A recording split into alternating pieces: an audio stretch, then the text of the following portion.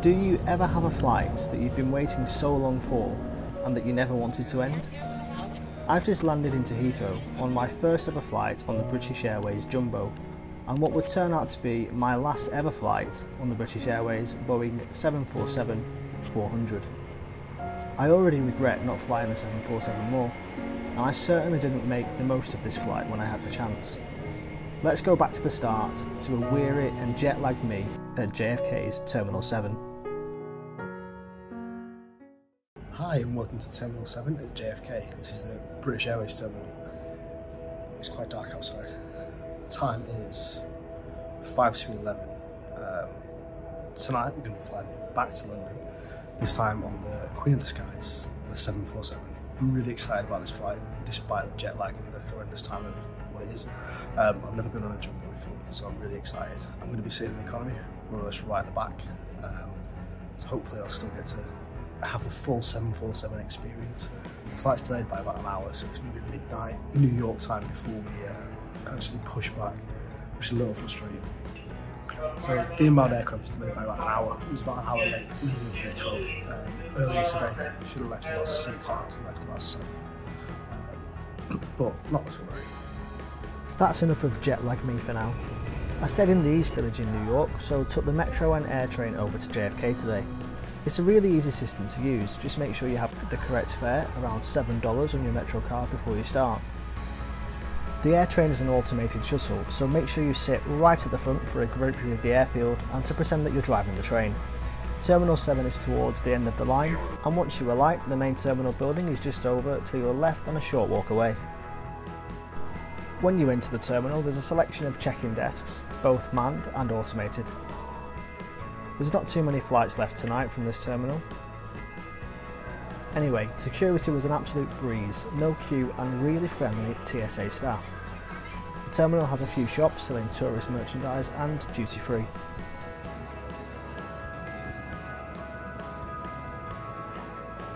There appears to be plenty of seating around the perimeter of the terminal, although for me there'll be no access to the famous Concorde room tonight. A few, but not all of the seats do have power ports, which is handy before a flight. Looking back now, it's hard to imagine Terminal 7 without a 747 on the ramp. Here's my aircraft on its slightly delayed approach into JFK tonight. And here's the Queen of the Skies arriving from Heathrow, tonight's aircraft Victor Foxtrot. Now, before boarding started, I, along with a few other passengers, were called to an alternative gate for an unknown reason. My passport was checked and I was issued with a paper boarding pass rather than the digital one on my phone.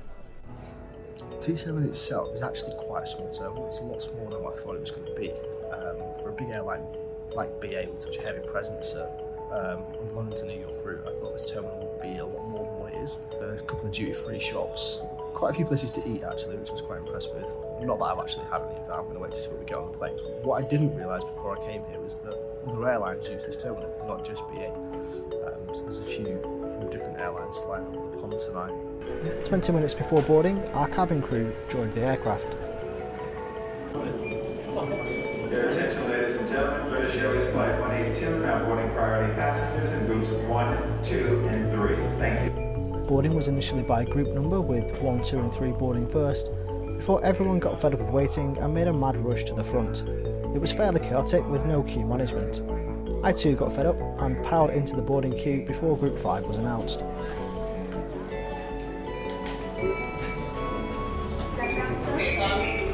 Thanks. Hello. Only one of the aircraft doors was available to board through tonight, so the process was super slow. Eventually though, I made it to the aircraft door and I stepped on the 747 for my very first time.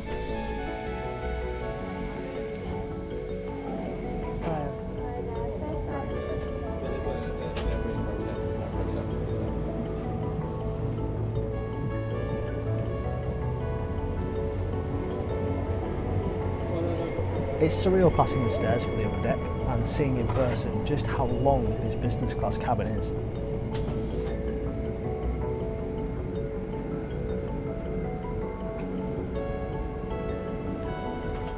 It seems to go on forever.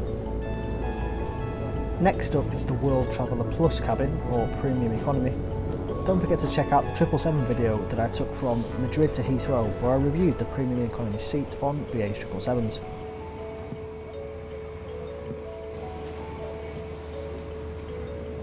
Eventually, I made it to the World Traveller or Economy cabin in the rear portion of the aircraft.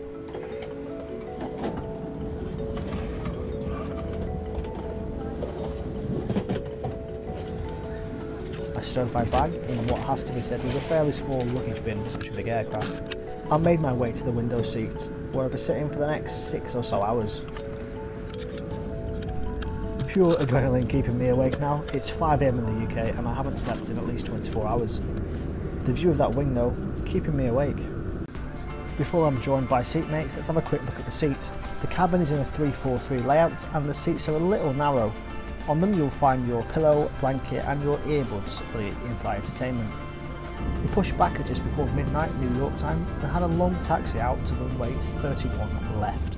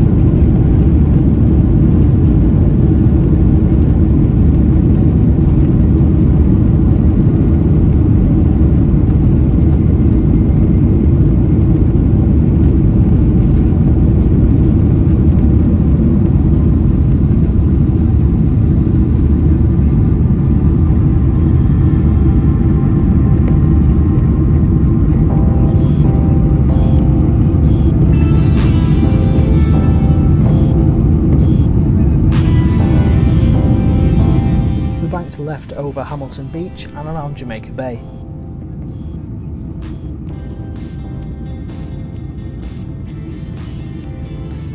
Today's route takes us along the eastern seaboard and over the north of Halifax.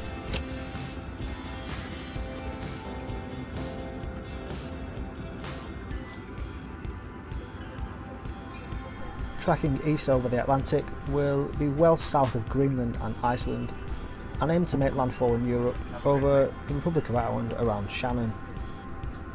From there it's into England up the Bristol Channel before landing into Heathrow. Shortly after takeoff the drink service started along with the pretzels. Why do airlines love these so much? I'm not complaining though because I do too.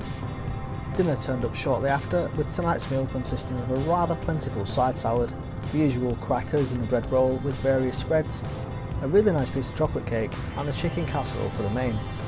The meal was decent and I finished it all off and the chocolate cake was much better than the small mousse that I had on the outbound flight.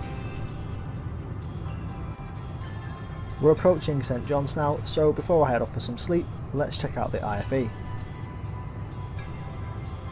The Panasonic system is leaps and bounds ahead of the system installed on the 777s. The screen is much better, is more intuitive to use and the touchscreen is more responsive, there's still plenty of content to watch and more than enough to keep everyone entertained.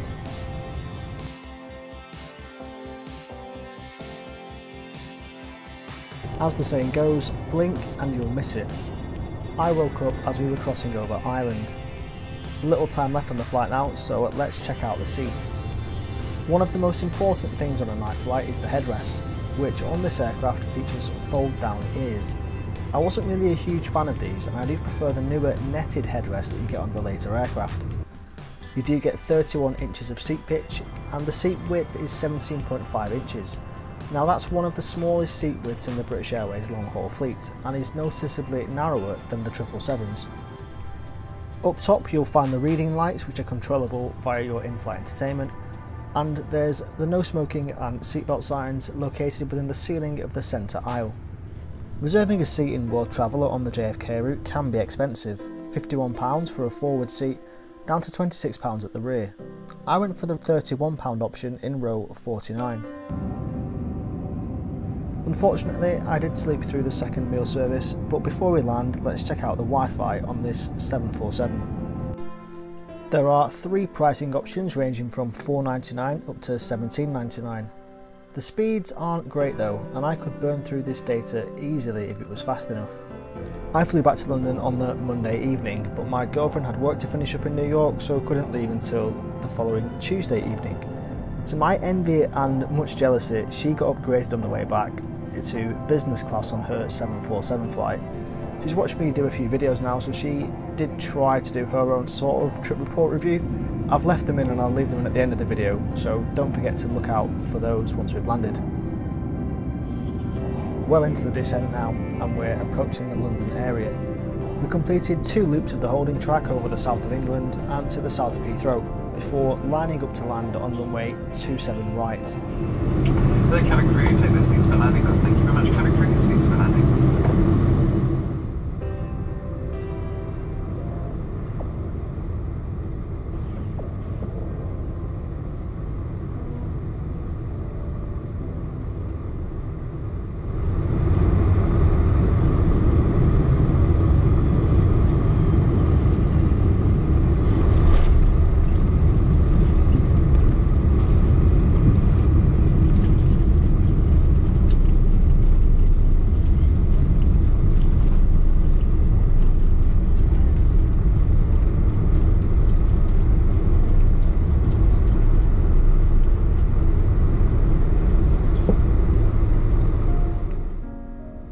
As we touch down and taxi in, I'm in a reflective mood.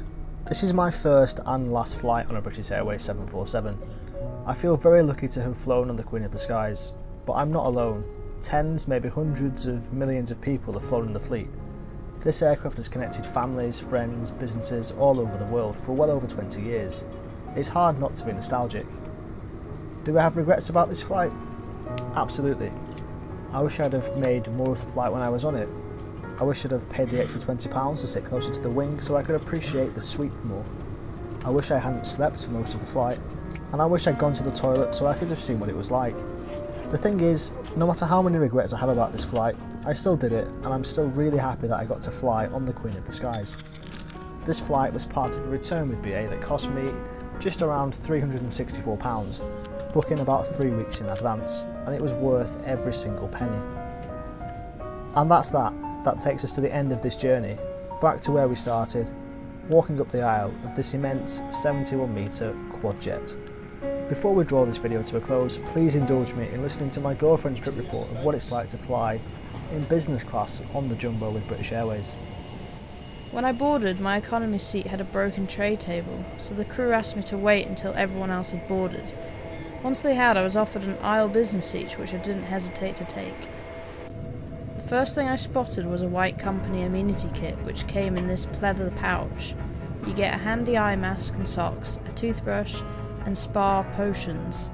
Finally, a pen. There's an instruction card about how to use the seat. There was all kinds of fancy buttons that I didn't really understand. I checked out the movies on the big screen and the fairly comfortable headphones before sleeping for most of the flight. I was woken up by the crew just before landing missing the whole meal service but being grateful for a full five hours of sleep. They did bring me breakfast though, and it was really good. Now I'm sure you can imagine just how jealous I was when I found out that she got the upgrade to business, and just how annoyed I was that she slept through the entire experience. But I guess what this goes to show is the Jumbo has got a special place in a lot of people's hearts. Lots of people have got stories about it that are special to them, that only happened on their flight.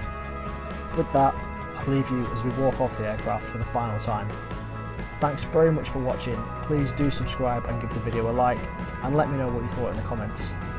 Thank you, and we'll see you next time.